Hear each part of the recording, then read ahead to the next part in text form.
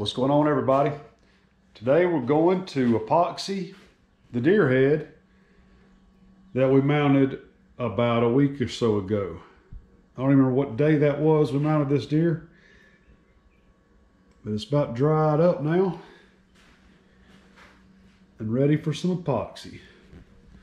So I'm going to get my camera mounted up, get my epoxy ready, and I'm going to show y'all how I epoxy these deer. Few days we'll come back and we'll paint him up.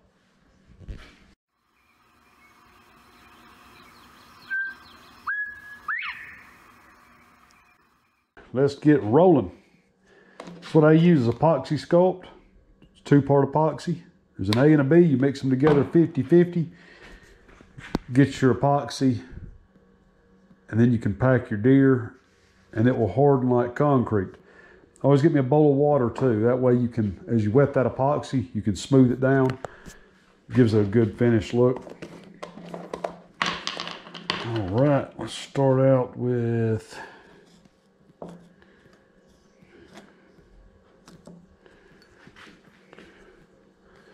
about this much.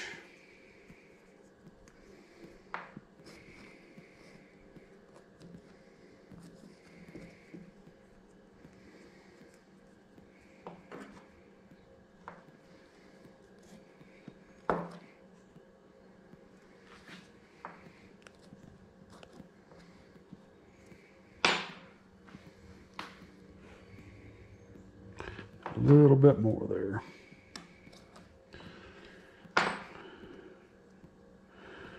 There we go.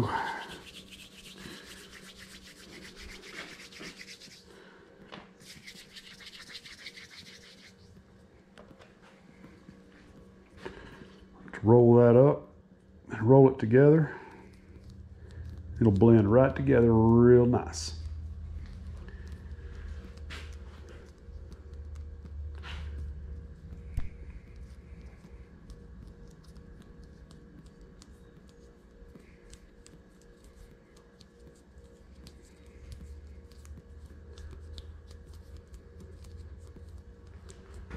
Blend it till it's all the same color. All right, let me see if I can get this thing where y'all can see it here.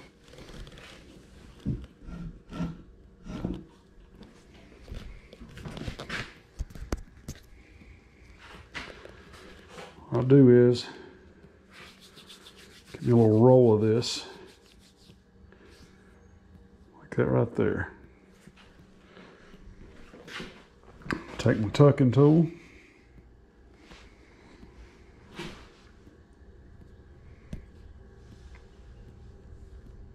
Just lay it right inside of that eye. You will just mash epoxy in wherever there's any gap at all. Even where there's not much of a gap, you'll just take this and push it in there. Just pack it in there as good as you can. It'll smoothen up that edge when you go to paint it and finish it.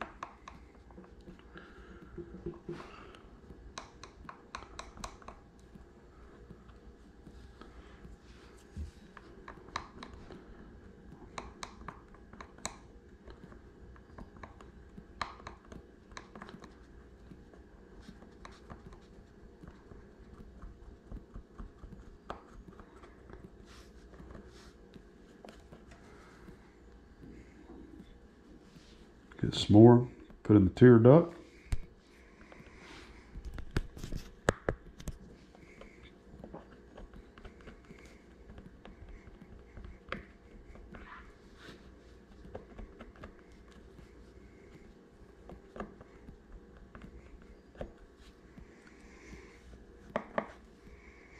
All right, then what I like to do, a little bit of water your tucking tool. Wet that epoxy. Just run it right down the edge of the eye in one motion, just like that. Smooth it on out.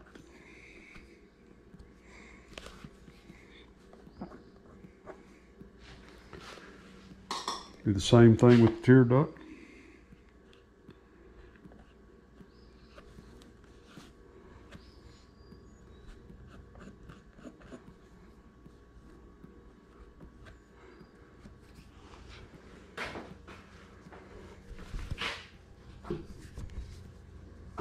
Y'all know I love to use my shirt to finish these things. I'm sure y'all have seen me do it before on several videos.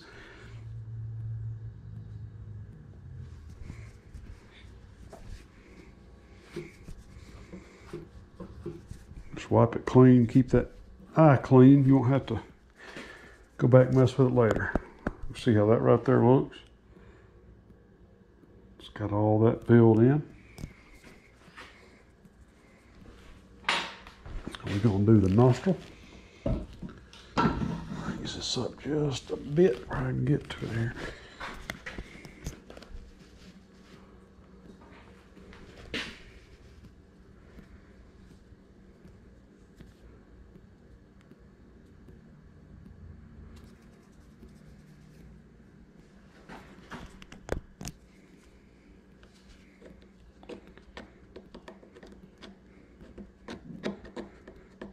If y'all need to look at reference photos to do this, there's plenty of them online.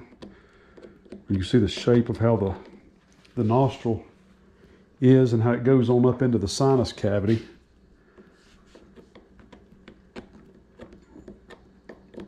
Just want to take that epoxy and rebuild that shape and then build you a little bit of a septum in there. Once I get enough in there, Wet that tucking tool. Starting the end right there. Make a hole where that sinus cavity goes up in there. I'll take that tool, and this is shaped like a little spoon almost, and spin it and pull it out like that. Get rid of the excess. Smooth that edge down.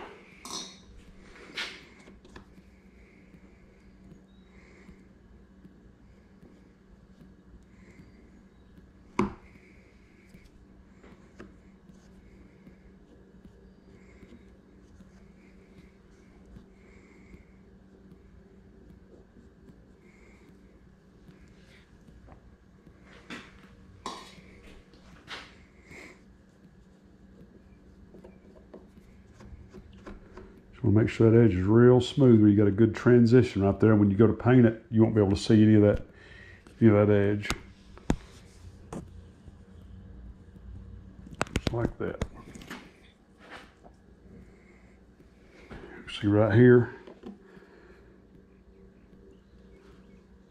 little bit of a place that's going to need a repair. Put some epoxy on that, build it back up where it's even with the rest of the hide, where it's smooth. Just a little bit of water, smooth that out. Once that dries, you put you a little dot of glue on it and a little bit of flocking, and it'll look just like that hair. When you go back over it, when you airbrush, you can airbrush over that and it won't show up.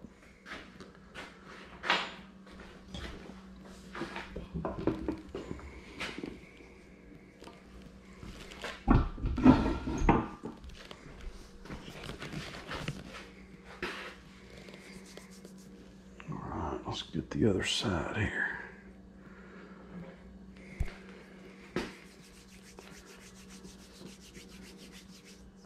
Corner of this eye right here was cut whenever it was caped.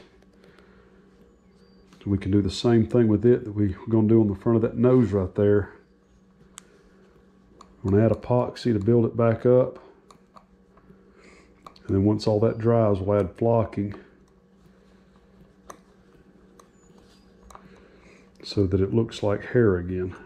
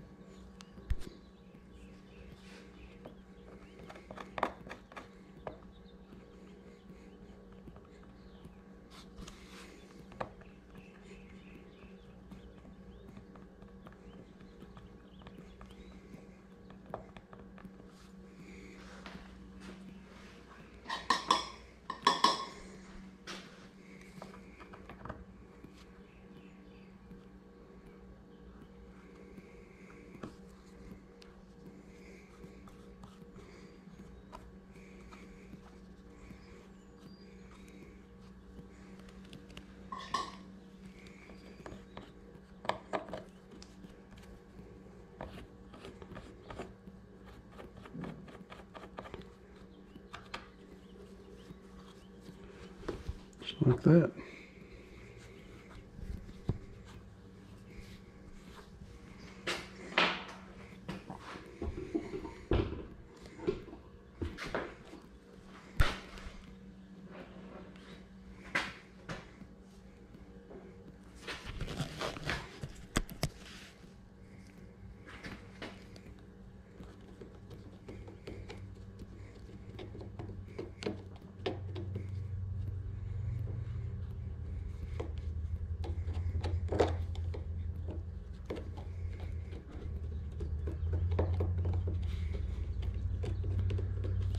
This is another one of those things too, y'all, that I've seen it done a hundred different ways online.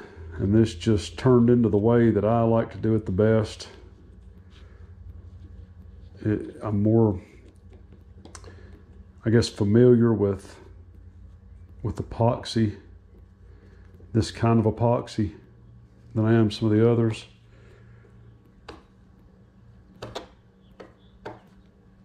And this technique I just feel more comfortable with. That's what you're going to want to do is whatever whatever you're more comfortable with, use that because you're going to end up being better with what you're familiar with. It's kind of like guys that like to use Bondo in the ears. I just I don't like using Bondo just because I don't like Bondo.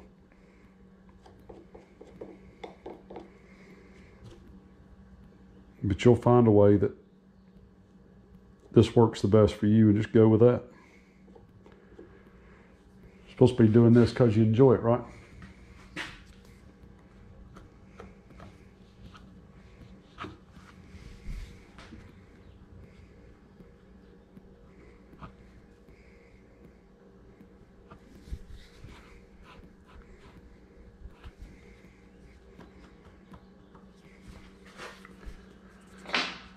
All right.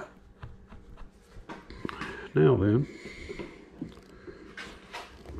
flip this deer up a little bit.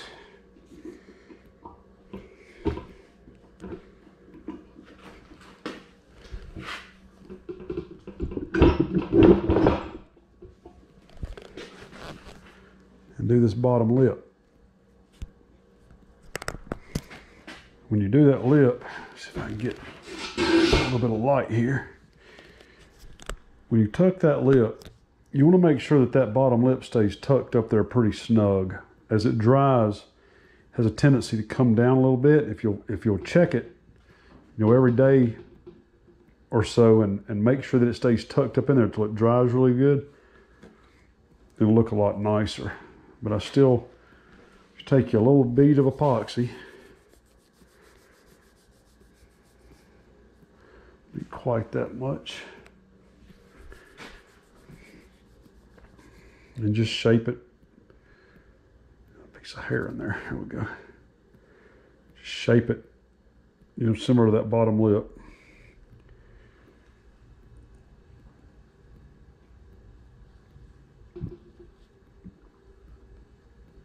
And put it right there on that crease.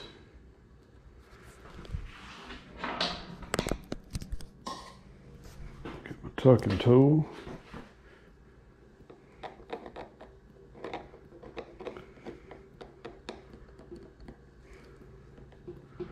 Just gonna press that up into that where the two lips meet. Fill in any gap that's there.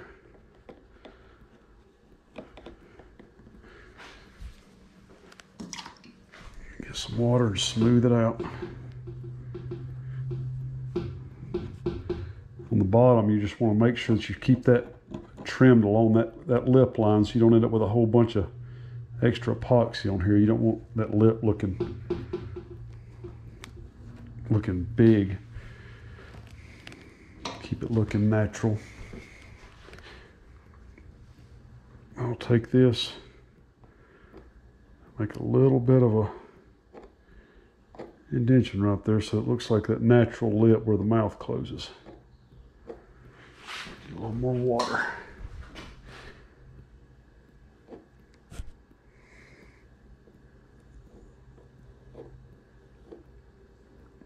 Just like that.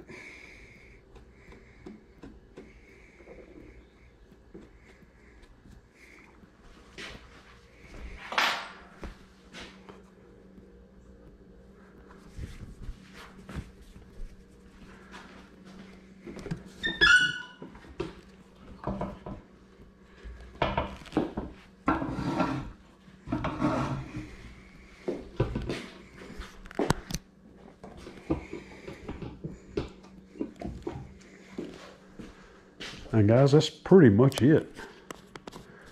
I mean, there just isn't a whole lot to it. If you'll take your time, take your time every day to go back as these deer are drying. You can see I've got them along this wall right here. And I even, even got this guy right here. Set out here in the sun drying gets a little bit a little bit faster. Get a good sunny day like that helps to dry them up a little quicker. But if y'all come every every day as that deer dries, if you'll work with that face and, and groom it, clean it, you know, get any glue, epoxy, uh, not epoxy, but uh, modeling clay, anything else that gets on there, if you'll if you'll take the time every day to kind of groom and, and fix and poke and prod and you know just mess with that deer, then over a period of days, it just starts to take shape. I mean, y'all saw how fast I mounted this deer. I mean, it didn't take me long at all to put it on a form. And I even had one guy comment on that video talking about how uh, that whole job just looks sloppy. Well, I mean, when you mount a deer in an hour and 30 minutes, it's going to look sloppy. But when you go back, take in the consideration, the hours that you you mess with it, you know, over the next week or so, I mean, it's actually, you know, I mean, it takes it takes a lot more time than just that hour and a half of putting it on a form. But you're going to make a nice looking deer out of it. But you can see where it fills in all those gaps. Got a little bit I gotta have to trim right there, just a just a little bit. But once all that dries, I'm just going to fill in all those gaps. What I like to do is, after that epoxy dries, if you'll take your little bead of, uh, I use super glue gel. You can use Mod Podge too, but Mod Podge is a little bit thin. And it'll want to flatten out on there, but the super glue, the gel super glue, you can run a bead along there and it actually gives a little bit of a, almost like a flesh texture uh, look to it. And when you paint over it, it'll have a little roll right there. It just looks nice, just a little bit, you know, something that's easy to do that, that look good. But anyway, that was easy enough, wasn't it? Think y'all can do that. So hey, a few days, come back and we'll uh, we'll paint it up, finish it. See y'all next time.